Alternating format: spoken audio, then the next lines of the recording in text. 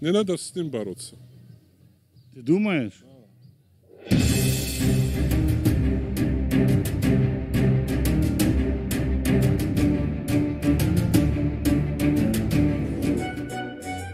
Ну, Он борется сейчас это за титул чемпиона мира, а ты что? Ну что, я тоже.